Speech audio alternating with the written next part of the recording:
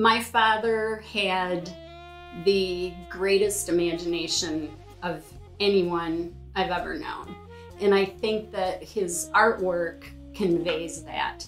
He told stories, he created scenes that I think were irresistible, whether it was a solitary figure, trombone or trumpet player standing outside of a nightclub, um, or a woman preparing for her bath, you just can't look away.